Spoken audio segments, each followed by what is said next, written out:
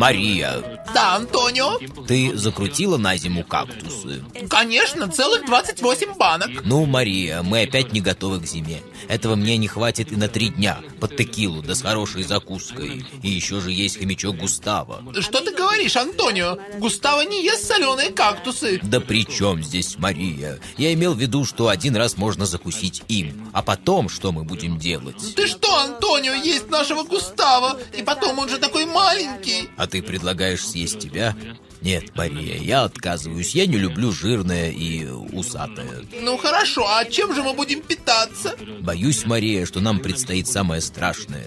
Придется всю зиму ходить в магазин. Как это прозаично. Так было все лето, всю осень, и вот теперь зима. Да. Антонио, погоди. А, а мы что-то сказали про негодяев? Нет, но еще не поздно. Негодяй тот, кто создал этот мир, эту Мексику, этих наших соседей, негодяев Мунисов, которые не пригласили нас на свадьбу их сына только потому, что мы, видите ли, рассказали его невесте, что он женится на ней хромой одноглазой дуре только из-за денег, и поэтому эта свадьба не состоялась.